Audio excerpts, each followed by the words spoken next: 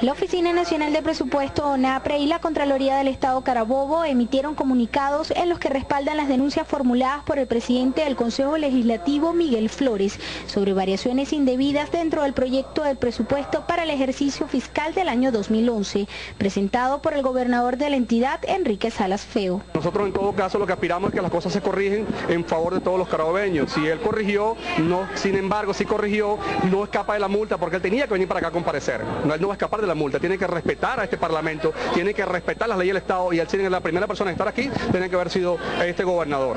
La multa que se aprobó en el seno del CLEC para el mandatario regional es de 600 unidades tributarias, tal como lo establece el reglamento de Interior y Debate. La primera autoridad del Estado incumplió con una ley regional. Eso es una falta de respeto a todos los carabobeños y un mal ejemplo para, para todos los ciudadanos. El gobernador tiene que ser la primera persona, el primer funcionario en comparecer tenía que haber sido el gobernador de Estado, más sin embargo no se presentó. El próximo lunes 28 de febrero, los parlamentarios en compañía del pueblo carabobeño acudirán a la gobernación con la intención de entregarle la multa al Ejecutivo Regional. En Carabobo, Dani Andreina Pacheco, La Noticia.